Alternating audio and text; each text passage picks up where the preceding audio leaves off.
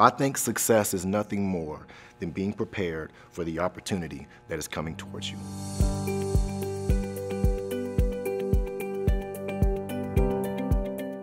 Like other Oklahoma public schools, funding cuts from the state have prevented Metro Tech from expanding programming and being able to meet the demands of growing careers such as public safety, construction trades, and aviation.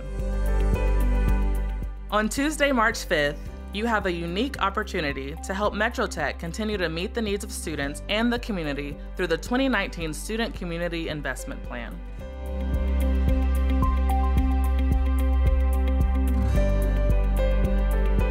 Without the aviation program, I'd probably still be going to a community college, not knowing what I really wanted to do. It'll prepare you not to expect every day to be the same.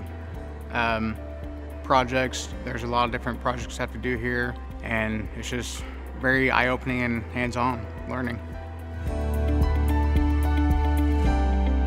Benefits from the 2019 Student Community Investment Plan include expanding the aerospace program, the increased ability to meet the hiring needs of the industry, and a new facility on the South Bryant campus.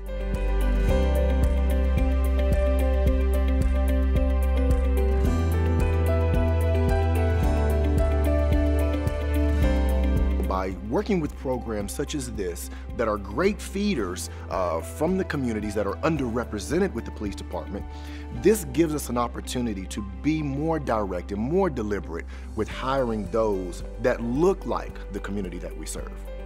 Without this program, I wouldn't have the jobs that I have, the career that I have. I mean, I work at OU Health Science Center Police Department, and then I work uh, security at a bank.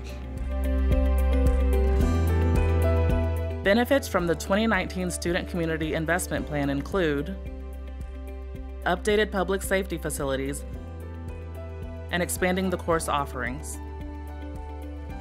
We get a more diverse group of applicants. Um, we're getting applicants that are actually ready, more prepared um, to go through our hiring process.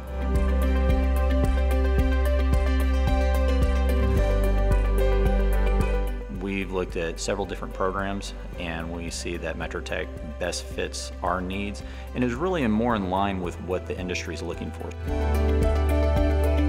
Benefits from the 2019 Student Community Investment Plan include updating the construction trades facilities, expanding course offerings, and the ability to create more opportunities for partnering with employers. Our community and students are worth the investment.